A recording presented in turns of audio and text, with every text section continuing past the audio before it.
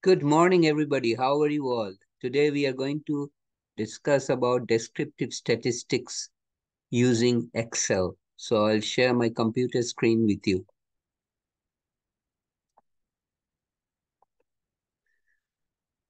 So here we have data on X versus Y. X is the independent variable, years of work experience, and Y is the wage gain in percent. We will do descriptive analysis or descriptive statistics analysis on X and also on Y. So the first thing we will do is click on data. I have already, uh, you know, put the data analysis tool pack in my Excel. Basically, it's inside the Excel. You have to just add it in data analysis tool pack, which is already. So if I click on data, I see the data analysis on the extreme right corner in the top. And I'm ready to do the analysis. So I will click on data analysis. Okay.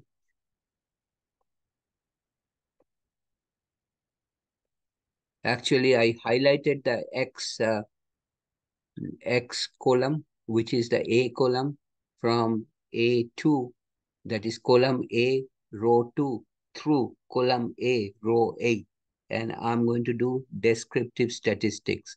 So I clicked on data analysis and got the descriptives.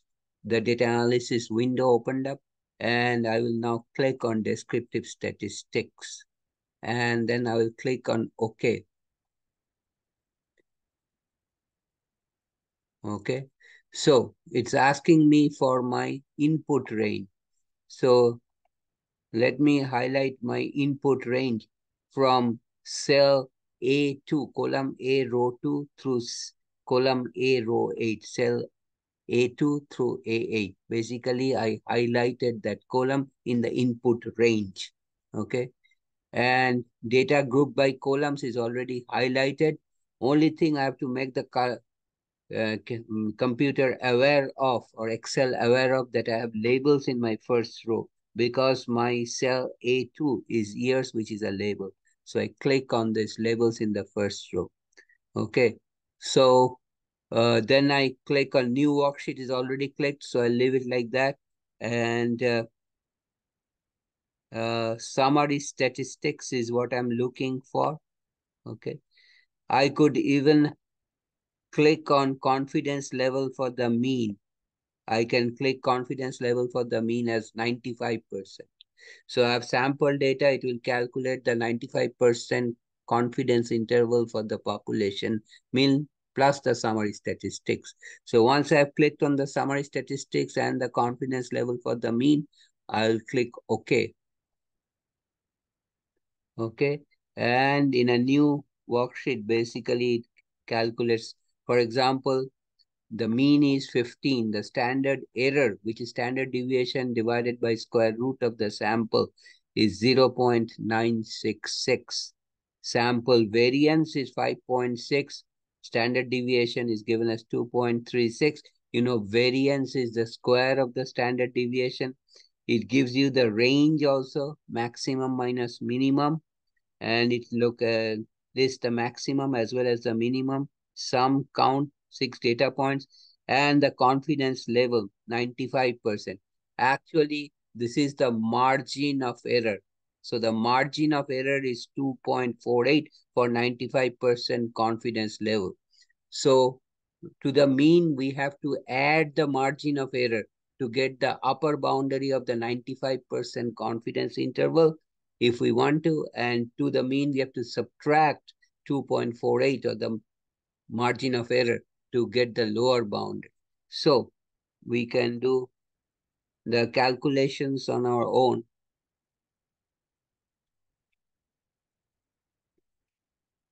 So we can go upper boundary, upper bound of 95% CI, confidence interval.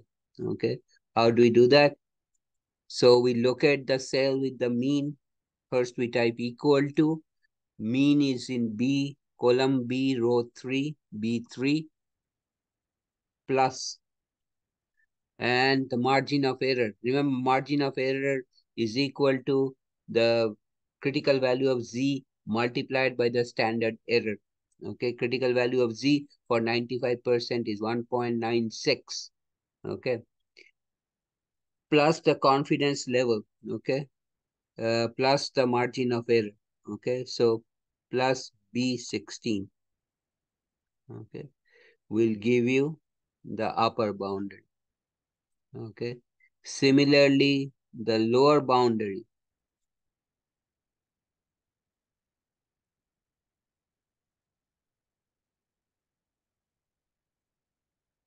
okay, is equal to the mean, which is in B3, minus the margin of error, which is in cell B15. Sorry, B16.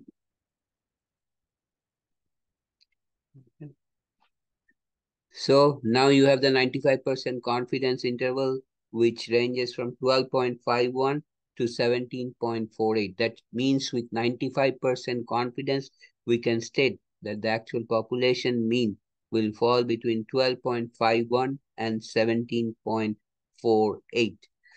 Now, let's get back to the original and we will do a descriptive statistic calculation on Y also.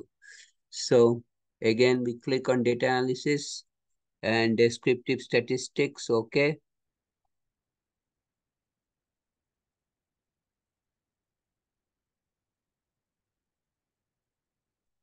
Waiting for the window to open up on descriptive statistics. It's taking time. Basically, I'll do the same calculations that I did for X variable. Okay. So my input range is now not A2 through A8. Okay, so I will erase this. Okay, my input range is now from B2 through B8. I'll highlight that. Columns, labels in for first row. Maybe I will not um, calculate the confidence level for the mean right now.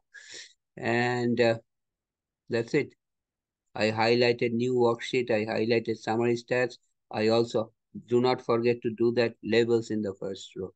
And let's uh, calculate. Okay. And it gives you the summary statistic. The mean is 14.5. Standard error is 1.52. And it gives you the standard deviation. It gives you the sample variance. Remember, sample variance is square of the sample uh, standard deviation. It gives you skewness, kurtosis, and all that. It also gives you the range, minimum, maximum, and the count. Count is sample size, six. So this is the way you do descriptive statistics on any data set using Excel. I will stop here today. If you have any question or comment, please write me a note. I'll get back to you as soon as possible. And if you like this video, please give me a thumbs up. I appreciate that. If you like this video, please share this with your friends. You and your friends, please subscribe to my channel by hitting the red subscribe button at the bottom right corner. I'll come back next time with another interesting problem, interesting solution. Take care. Have a nice day. See you.